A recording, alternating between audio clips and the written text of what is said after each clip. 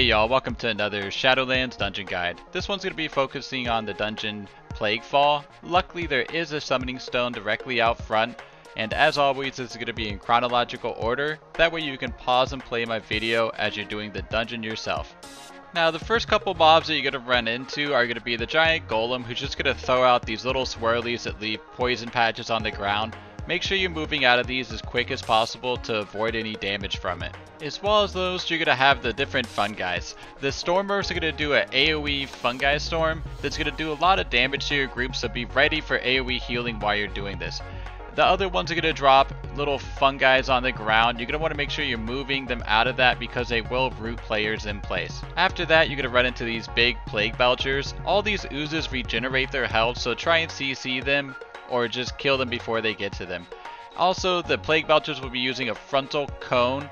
Make sure you're not standing in front of them because it will do a significant amount of damage. Then you're going to move straight on to the first boss, Globgrog.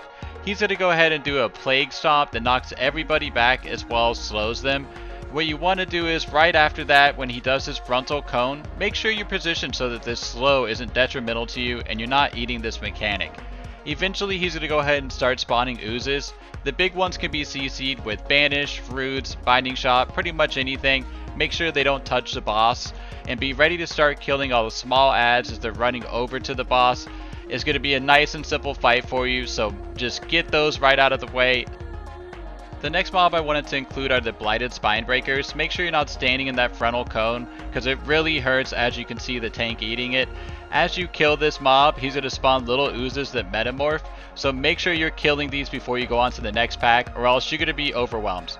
I highly recommend going around the outside of this room, but if you go through here and you have this tentacle grab you while you're having the bombs explode, just be ready to die because you can't get out of there. As you make it to the next boss, you're going to have to clear the room while he's jumping from platform to platform. So just pay attention to where he is and be sure you're not pulling those as he's getting there.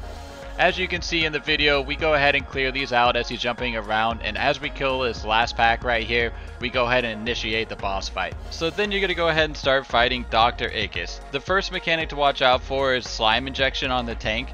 If you're the healer, just make sure you're dispelling that. Anyone can walk over the slime to kill it before it erupts, so make sure that gets done. Eventually you're going to see him hop to another platform where he throws a bomb out. That is your number one priority. If it goes off, you're all going to wipe. At the same time, Dr. Ickus is going to start targeting players and leaping towards them to do damage with a four-way split. So make sure that you're not standing in those pathways. At the same time, a congealed slime is going to pop up, which is going to be the purple slime. It reduces damage by 75% for any allies around it. So if it's around the bomb, kill it first. If it's next to the boss, make sure you're killing it as soon as possible. You're going to want to make this fight as easy as possible to avoid having to do it over and over again when it's not that complicated. Now the third boss you're going to run into is Domina Venomblade. Make sure that when she's using Shadow Ambush on a player, you're not standing inside of that circle because it will hurt and it will stun you for 3 seconds. Throughout the encounter, she's going to spawn these little webs on the ground. Make sure you reveal the mobs inside of there as quick as possible. You can use flares, AoE, just run up to them, anything to knock them out. If you ignore these mobs, they do a stacking dot on you that will wipe you guys really quickly when that healer can't keep up with it. So make sure to reveal those mobs. As you're clearing out the last boss room, there's going to be a ton of packs right here that have very slow moving mobs in them you're going to want to make sure that you're kiting these as much as possible.